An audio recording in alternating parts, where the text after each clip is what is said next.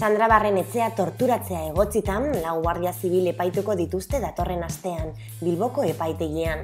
Dula zei urte atzilotu zuten barren etzea, ekinikoa zelakoan, beste sortzi lagunekin batera. Tortura basatiak jaso izana salatu zuten atzilotuek. Odei irureta goiena berriako kasetaria berarekin izan da. Zure ondokoak ukatzea, zuri gertatu zaizun e, zerbait, ja horrek e, min, min, zure minareagotzea eragiten du. Gehitzen ditu bi, bi sentsazio bata frustrazioarena, osea, izugarria da, ez? E, zuri gertatu zaizu zerbait, gainera e, berez babestu behar zaituen estatu baten eskutan egonda, e, funtzionario publiko batzuen ez, e, aldetik, e, hau da, gizarte osoa dela e, erantzulea egoera horren aurrean, ez? Eta, eta gizartea berak ukatzea edo gizartearen e, ordezkariak izan behar direnak edo arduradunak izan behar direnak ukatzea zuri gertat, hori gertatu zaizula, e, bueno, sortzen du frustrazioa, sortzen du e, errudun sentimendu handiak, e, zuk pentsatzen duzu zuzarela erruduna, zuzarela egoera horren erruduna, e, kokatzen zaitu haula de egoera batean, kokatzen zaitu egoera bat nun hori zuezara aitortua, orduan e, zure bizitza ez dauka garrantzerik. Kartzelan ez daukazu e, aukerarik kudeatzeko zure egoera pertsonala, osea, zu hor zaude, bueno, ba, beste unibertso batean, beste mundu batean, eta ez dituzu tresnarik hori kudeatzeko. Orduan, nola bai, bueno, egiten duzu burbuia bat, sartzen zara burbuia batean, eta egiten duzu, bueno, ba, pizkat, egoera hori existitu e, izan ez bazan bezala. Orduan ateratzean, etortzen zaizu, bueno, pues, bizi izan dako guztiaren ondorioak. E, hori kudeatzea, kezkatzen du lehenengo onartzea gertatu zaizuna, onartzea hori zuregan ondorioak izan dituela, eta onartzea hori konpontzeko edo bideratzeko e, prozesu bat e, abiatu behar duzula normalean prozesu hori egiten da, osea, erabaki guzti horiek, ze hor da, erabakiak hartzeko prozesu bat ematen da, erabaki guzti horiek e, modu individualan eh, hartu behar dituzu. Esan nahi dut, e, ez gara kapazak izan e, gure inguruan eta gure gizartean ba, ba, mekanismo kolektibo batzuk sortzeko, ba, zu ateratzen zarenean alako gora batetik, ba, modu kolektiboan e, horrelako egoerei aurre egiteko. Bai, Osea, sortu ditugu tresna kolektibo asko, gauza askotarako, baina kudeatzeko egoera pertsonal horiek ez ditugu, ez ditugu sortu, ez? Orain mugimendu feminista e, emakume mugimenduetatik eskatzen da genero violentzia definizio hori zabaltzea, ba hainbat egoera, violentzia egoerak e, genero violentziak ez direnak, beze genero violentzia lotzen da bikotearekin bakarrik, ba kontutan hartzeko lege horietan, ez?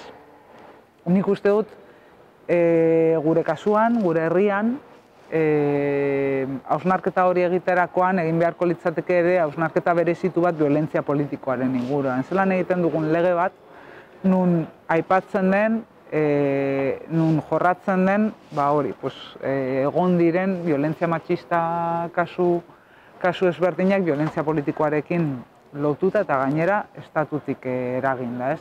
Eta gero dago beste lan mota bat, dela, esan dezagun beste, beste monetaren beste aldea, eta da, zelan egiten dugun, e, ba, tortura kasuak astertzen ditugunean, ba, bereziki emakumeen kasuak e, e, edo emakumeen kasuetan ematen diren e, realidadeak edo egoerak e, nola aztertzen ditugun, ez? Tortura psikologikoak emakumeen kontra beti doaz leku berdinetik, edo doaz e, leporatzea hori pues, e, e, puta bat dela, edo doaz leporatzea ez dela keskatu e, bere familia eta bere bere bikote eta bere seme alabengatik, doaz e, mehatxatzera bortxaketarekin beti, doaz mehatxatzera ere e, ezingo, ezingo zarela ama izatea, esan nahi dut, e, mehatxu guztiak, tortura psikologiko guztiak daude lotuta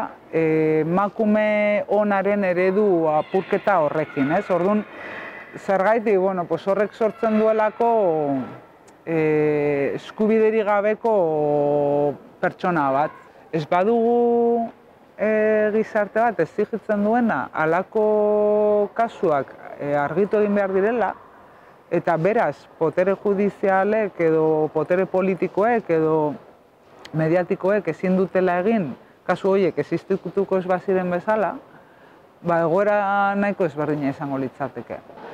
Askotan nik uste dut, e, tortura kasuak lotuta ditugula egoera politiko zehatz batekin, eta nola baiteko justifikazioa ematen da, ba, bueno, pues egoera politiko hortan jokuan, e, ez, zebilen jendea, ba, ba, hortara arriskatzen zelako, ez?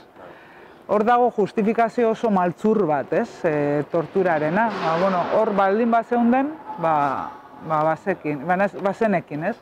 Hori oso diskurtso maltzurra da, eta oso arriskutsua oso arriskutsua heldu garelak el, gaitezkeelako justifikatzea hori pues eh egoera batzuk e, giza eskubideak e, guzti zurratu ditzaketenak. Orduan e, niri iruditzen zait e, osea errealitate hauek jarraitzen dutela oso eremu zehatzean, zehatz batean e, e, E, problematizatzen, hau da, ez da, oraindik ez da gizarteak duen problematika bat. Nola jendeak badaki existitu egin direla, baina ez dira jendartearen arazo bat, ez dira, ez, ez da zerbait, e, ez jendeari garrantzia ematen diona.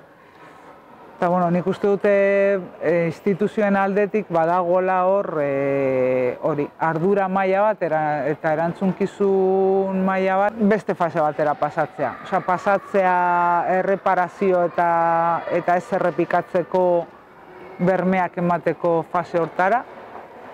Eta fase hortara pasatzeak e, ardurak hartzea esan nahi, e, bai, esan nahi du. Ardurak hartzea esan nahi du, e, bai instituzioen aldetik eta bai e, gizartearen aldetik.